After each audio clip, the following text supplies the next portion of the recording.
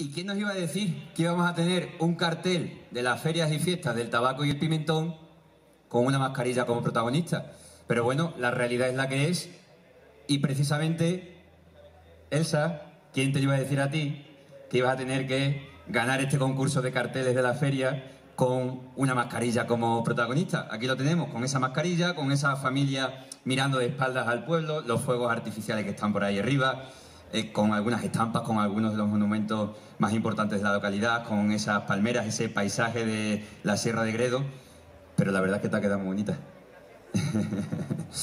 Así que ha sido ella, Elsa, la ganadora de este concurso del cartel de las ferias y fiestas del tabaco y el pimiento del 2021 eh, ganadora entre 10 carteles, 9 pasaron a la fase porque uno se tuvo que quedar atrás, que no parecía que no cumplía con las bases del concurso, y en el bando móvil han sido 930 las personas que han votado y ella se ha llevado nada más y nada menos que 193 votaciones, que son el 20% de las totales. Así que ella hoy va a recibir un premio que seguramente le va a venir muy bien, pues no sé, hacerse una escapada o gastárselo por aquí en el pueblo, ahora que nos lo cuente. 300 euros en metálico y el reconocimiento y el aplauso de todos vosotros. Así que adelante, Elsa.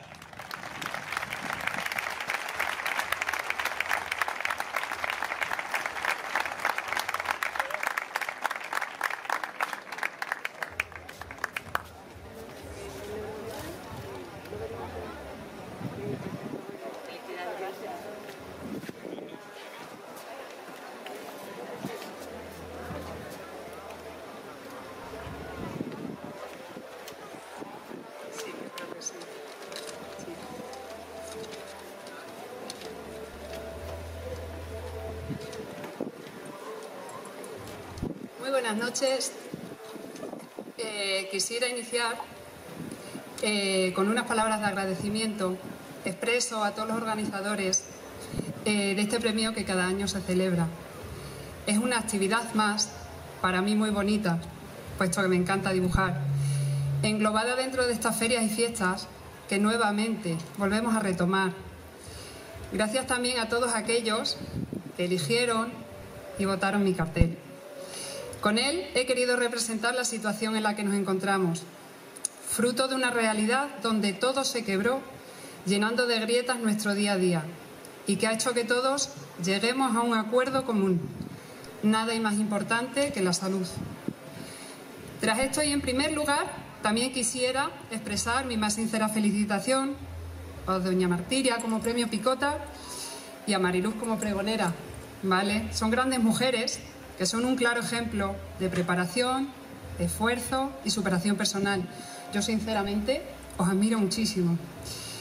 Y en segundo lugar, transmitir a mi familia, a mis amigos, el agradecimiento que nunca les hago llegar de ningún modo, por estar conmigo y por ser parte de mi vida, por ser parte de mí. Y es que con vosotros la vida es mucho más fácil. Gracias. Y en tercer lugar, y para finalizar, quisiera leerles un pequeño escrito, ¿vale?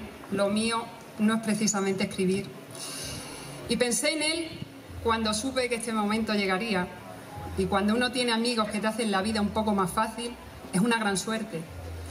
Él no quiere que yo diga su nombre, pero no es difícil adivinar de quién se trata. Si se dan una vuelta por Facebook y entre la gente de Jaray se tropiezan con un poema lleno de sentimientos, Solo alguien con una sensibilidad como él podrían escribir algo así. Valentín, lo siento, pero tenía que decir tu nombre. En esta fiesta, no fiesta, de un verano que no es verano, asidos de la mano, miramos a lontananza.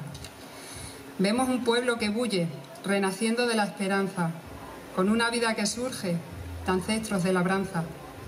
Ya se ven algunas estrellas que brillan en nuestra cara, haciendo más llevadera esta pesada máscara.